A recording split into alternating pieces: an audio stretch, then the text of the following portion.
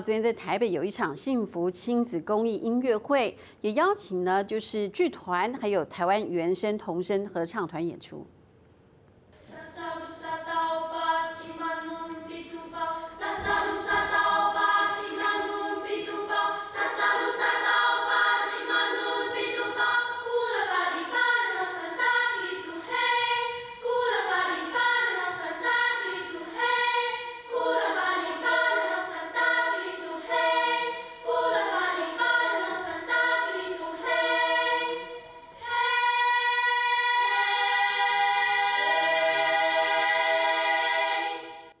刚才呢，我们听到就是台湾原声童声合唱团的演出，他们演唱的是布农族的儿歌，还有客语、国语等耳熟能详的歌曲。学生们清新嗓音，带给听众满满的感动。而知名企业呢，借由音乐会邀请去年受助的三个儿福团体，像是目睹家暴或是迟缓婴幼儿家庭，还有孩子免费参加，就是希望可以透过戏剧还有音乐响宴，可以有勇气面对任何困难还有挫折。另外呢，主办单位也将这个音乐会现场票的部分所得，作为台湾原声音乐学校的建校基金。